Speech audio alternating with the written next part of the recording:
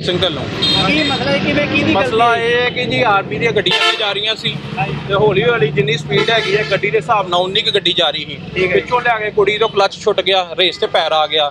ਤਾਂ ਪਿੱਛੋਂ ਸਾਰੀਆਂ ਗੱਡੀਆਂ ਇਕੱਠੀਆਂ ਕਰ ਦਿੱਤੀਆਂ ਗਈਆਂ। ਅੱਛਾ ਪਿੱਛੋਂ ਹਾਂ ਪਿੱਛੋਂ ਲਾ ਕੇ। ਤੇ ਉਹ ਜਿਹੜੇ ਜਿਨ੍ਹਾਂ ਨੇ ਪਿੱਛੋਂ ਮਾਰੀ ਹੈ ਗੱਡੀ ਤੇ ਉਹ ਕਿੱਧਰ ਗਏ? ਉਹ ਜੀ ਮੈਡੀਕਲ ਕਰਾਉਣ ਗਏ। ਉਹਨਾਂ ਦੇ ਸੱਟ ਲੱਗ ਗਈ ਸੱਟ ਲੱਗ ਗਈ। ਆ ਵੀਰ ਜੀ ਉਹਨਾਂ ਦੀ ਗੱਡੀ ਹੈ ਜੀ। ਇਹਨਾਂ ਦੀ। ਕੈਪਟਨ ਸਾਹਿਬ ਸੀ ਨਾਲ ਉਹਨਾਂ ਦੀ ਗੱਡੀ ਸੀ ਉਹ ਡਰਾਈਵ ਕਰ ਰਹੇ- ਆ, ਉਹ ਬੈਠੇ ਹੋਏ ਸੀ ਤੇ। ਉਹਨਾਂ ਦੀ ਗੱਡੀ ਜਦੋਂ ਆਪ ਚਲੇ ਗਏ ਕਿੰਨੀਆਂ ਗੱਡੀਆਂ ਦੇ ਟੋਟਲ ਐਕਸੀਡੈਂਟ ਚਾਰ ਚਾਰ ਗੱਡੀਆਂ ਦਾ ਦੋ ਆਰਮੀ ਦੀਆਂ ਤੇ ਦੋ ਪ੍ਰਾਈਵੇਟ ਅੱਛਾ ਤਾਂ ਆਰਮੀ ਦੀਆਂ ਦੋ ਗੱਡੀਆਂ। ਹਾਂ ਸਿੰਘ ਜੀ।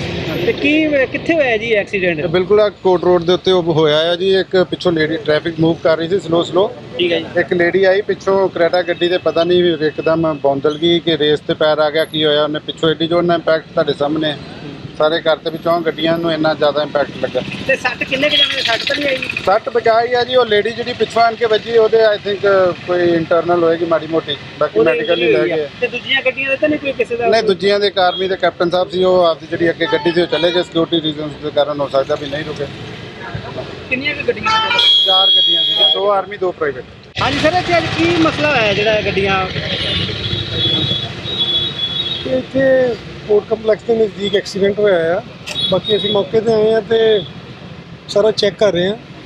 ਤੇ ਬਾਕੀ ਵੇਖਦੇ ਆ ਕਿ ਜੋ ਕੰਪਲੇਨੈਂਟ ਕੀ ਕਹਿੰਦੇ ਉਹਦੇ ਮੁਤਾਬਕ ਕਾਰਵਾਈ ਕਰਾਂਗੇ। ਟੋਟਲ ਕਿੰਨੀਆਂ ਗੱਡੀਆਂ ਡੈਮੇਜ ਹੋਈਆਂ ਸਰ ਤਿੰਨ ਗੱਡੀਆਂ ਲੱਗੀਆਂ ਨੇ ਬਾਕੀ ਅਸੀਂ ਸਾਰਾ ਚੈੱਕ ਕਰ ਰਹੇ ਆ ਵੈਰੀਫਾਈ ਕਰ ਰਹੇ ਕਿ ਕੀ ਕੰਪਲੇਂਟ ਦਿੰਦੇ ਉਹਦੇ ਅਕੋਰਡਿੰਗਲੀ ਵੇਖਦੇ ਆ ਤੇ ਗਲਤੀ ਕਿਹਦੀ ਦੱਸੀ ਜਾ ਰਹੀ? ਹੈ ਅਜੇ ਸਟੇਜ ਤੇ ਕੋਈ ਕਹਿ ਸਕਦੇ ਇੱਕ ਵਾਰੀ ਸਾਰਾ ਵੈਰੀਫਾਈ ਕਰਕੇ ਇਹ ਆਰਮੀ ਵਾਲਿਆਂ ਦੀ ਗੱਡੀ ਵੀ ਵਿੱਚ ਹੈਗੀ। ਆ ਇੱਕ ਗੱਡੀ ਆਰਮੀ ਦੀ ਹੈ। ਇੱਕ ਗੱਡੀ ਆਰਮੀ ਸਰ ਜਾਨੀ ਮਾਨ